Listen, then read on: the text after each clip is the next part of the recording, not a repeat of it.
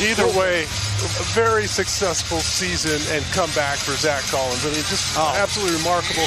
Those blocks the other night were uh, fantastic. Really got the crowd and. Pop mentioned the pregame, so we've got our five man. The improvement that he has made, no question, has just been uh, absolutely amazing.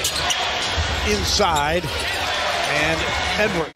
And that means they'd have to win two games to get into the number eight position as Malachi Branham knocks down the jumper. Ball movement, player movement, not just standing around.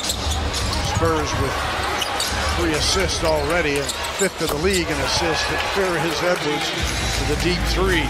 He got that little runner to fall over Anthony Edwards last time down the floor. This time uh, he's going against, I think that was Jaden McDaniels that he gets the shot over.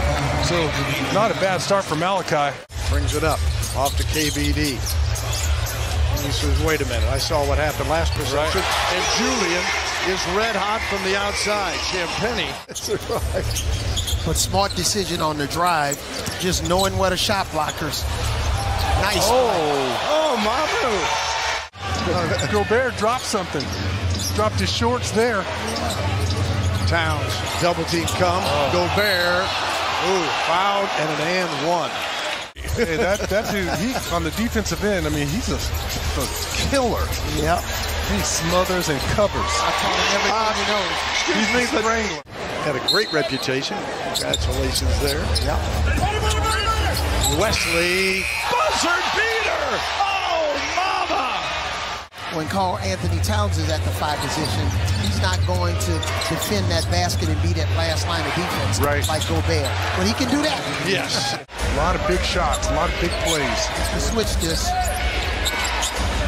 Carlo trying to slow down Town, pulls his way inside and scores.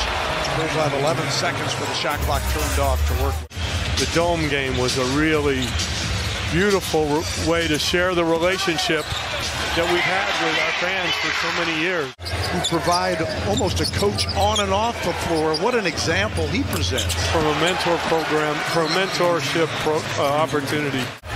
I think what's been lost a little bit is the Victory Capital Performance yeah, Center. About to say. And that the team's going to be in a new practice facility. Got right in his rhythm. uh, Hey, RC, I just want to know if our buddy who's watching right now, Mr. Duval, gave you a discount on that practice. But I'm not sure anybody recognized how quickly he would pick up his offensive production and become such a dynamic offensive player with, with multiple skills. Is that Sean Elliott that acting like he likes a three-pointer? Right. I, I, must be on the wrong broadcast. Are, are you only good ones, RC? Oh, going in the mid-range with the banker. We'll, we'll start our workshops early in May, and it's a very structured time for a bunch of these young guys to. Champagnie drills another three. Minnesota's turned up the heat a little bit here, taking advantage of a turnover too. And once again, another bucket, and the Spurs.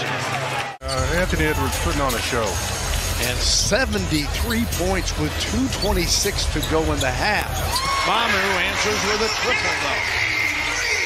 There's no reason for him to hesitate on the perimeter when he's got that sweet stroke. Gobert with the dunk to make it 75-64. You're not allowed to get guys on the court as much because you have the sports scientists saying we need to rest guys. Uh, and, you know, there aren't the two and three hour practices that we had on days in between games.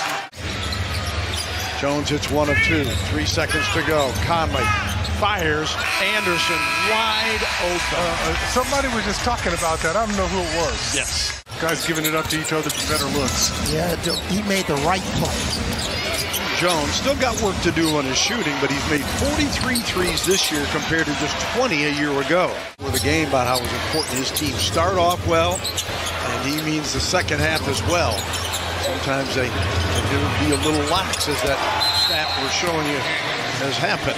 Coming next year along with a high draft pick, and who knows what happens with this team. There's thought they had another steal, but taken back by Minnesota, and Conley hits a three at her. He certainly was there to make an effect. And that's the one thing Minnesota ha has at its disposal in those situations when Gobert's guarding a center that's driving. So he's back. Champagnie blocked by Gobert and taken away by Rudy. And when you talk about a kid like Dominick Barlow, I was on the initial advisory board for Overtime Elite. Inbound coming. Out to Champagnie. Up screen, and he is fouled. It's an and one for Julian Champagnie. where you know they can get hot and, and you guys talked about the bill showing you know where are they going to finish Are they're going to finish ninth obviously they can move all the way up to six i don't believe they'll get there Edwards hit that last one. Edwards now with 26. Wow, another.